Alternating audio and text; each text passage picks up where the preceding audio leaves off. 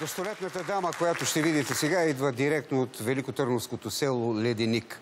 Преди да се отдаде на професията баба, е работила като организатор на читалищата дейност в селото, била е и библиотекар.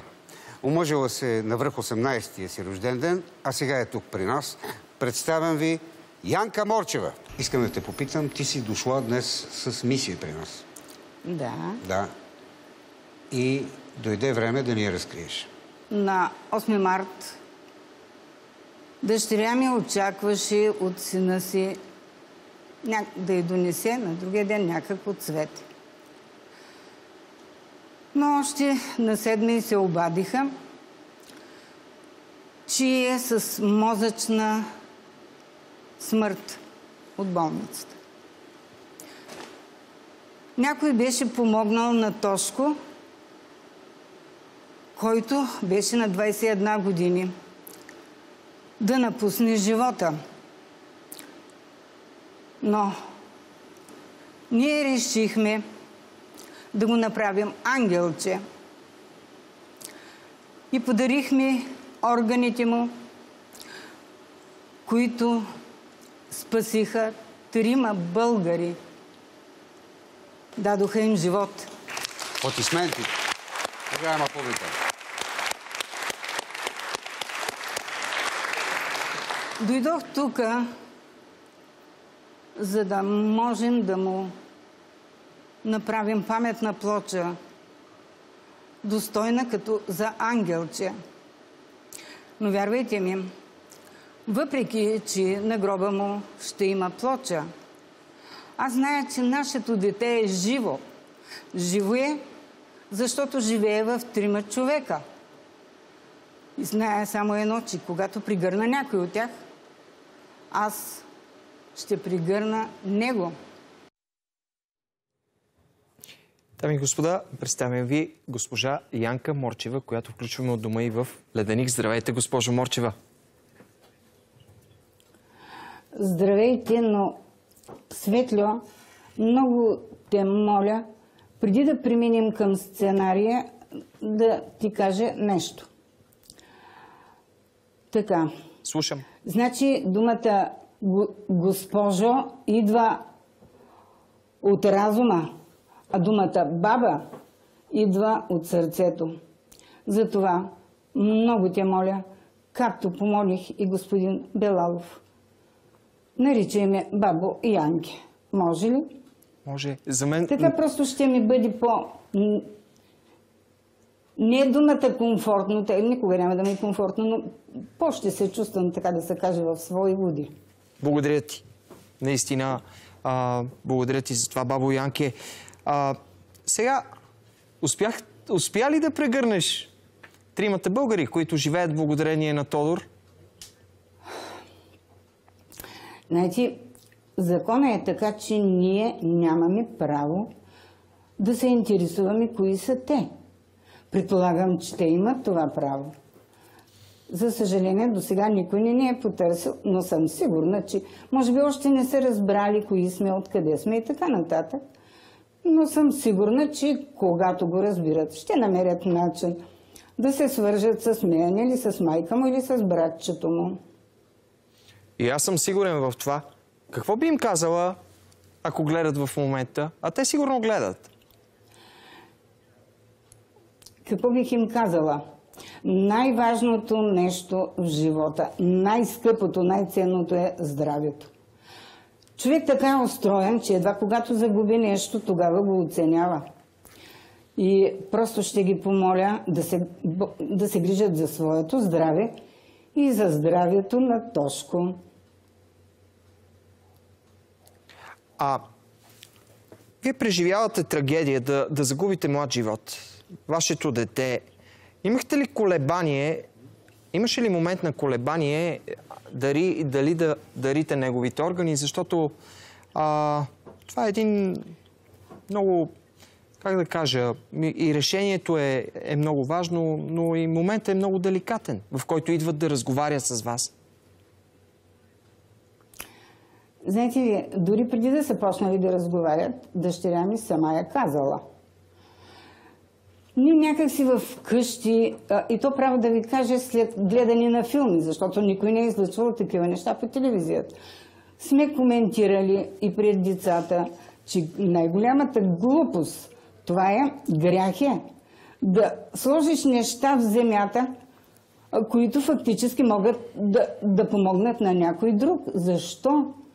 Нима болката на тия, които а, ги поставят в земята, когато отидат следващите пъти, на гроба им ще намалее. Не, не, не, тя ще се увеличи. Аз зная само едно. Нашата болка ще намалява, защото знам, че Тошко е жив. Просто е жив и никой не може да ме убеди, че не е така. Как изглежда? трябва да ви кажа, Да, продължи, баба Янки. Така, значи, веднъж Тошко, вече не спомням преди колко години беше, тича по стъпалата. И аз му викам, момче, внимавай, ще паднеш, ще се прибиеш, ще умреш. Пък той ми каза, слушай, какво ще кажа така. Винаги сме говорили така малко на майтап. Аз съм млад, силен съм, няма да умра, ще ме подариш на някого. Ама ти си вече дъртичка, така че твоите органи за нищо не стават, ти ще умреш. Така, че това, така да се каже, това беше неговото последно желание. Е, може да не е последно, защото последно никой не го е чул какво е казал. Това е. Какво момче беше той? Как би го описала? Абе, струва ми се едно нормално, будно, умно, уважително. Дори тук съседите викат, винаги когато мини край нас, на поздравяват. Аз от малък така съм се го научила. Беше още мъничък на 2, 3, 4 години, когато вървим по улицата, аз поздравявам и викам, айде сега ти кажи. Така че от тогава и двете ми внучета така са научени да поздравяват, да са общителни с хората. Просто беше общително дете. Беше ученолюбиво, пълен отличник. Тая година щеше да завърши компютърни технологии, висше образование. Така е. Просто. Много пъти сме си говорили в... Знаете ли какво... Кажи ми, баба Да. Янки, да. Кажи ми. Кажете. Не, не, продължи си мисълта. Чакай. Просто забравих какво ще да кажа. Каза ми, че искал да завърши компютърни технологии. Да, да, той това учеше. Тая година щеше да ги приключи. Тая година щеше да ги завърши. Дори беше започнал стаж. А, оттам му осигуриха да кара курс и щяха да го вземат още през лятото а, на работа, като през а, учебното време ще да бъде на 4 часа. А какво щях да ви кажа? Страшно нещо е наистина да загубиш дете. Няма нищо по-страшно от това. Но знаете ли, Едно е да загубиш дете на една година. Не искам да звуча е, е, цинично. Друго е, например, на 3-4. Но когато вече си го отгледал, изхранил, изучил, когато вече е тръгнал да осъществява мечтите си и твоите надежди, тогава болката е страшна. Просто страшна. Просто не е честно просто. Тъй като много сме говорили... млад човек да си отиде. Тъй като много сме говорили за съдарителството, а, за органите, това е голям проблем в България. И то много стар проблем. А, нека завършим с този въпрос. Как изглежда Възкресението в твоята представа, защото чух, че пред Михаил Билалов спомена именно тази дума – Възкресение. Ами точно така завършва. Знаете ли какво си мисля? По мое време на младини религията въобще не беше така застъпена. Но в моето съзнание ми останала една мисъл на Исус Христос. Ако имаш две ризи, дай едната на ближния. В днешно време това звучи така. Ако имаш нещо, което не ти трябва, което ти е излишно, което никога няма да ти свърши работа, дай го на някого, на когото ще свърши. Аз знам, че органите на Тошко на нас нямаше да ни свършат нищо. По същия начин органите на тия органи, разбира се, говоря, които са годни за трансплантация. На близките на никога нищо няма да ни свършат. Но, защо да не се дарят на хора, които имат нужда от това? Ето така разбирам аз възкресението. За мен е това е. Възкресение. Просто да продължи някой, да живее в някой друг. И не разбирам, като кажа голяма е болката.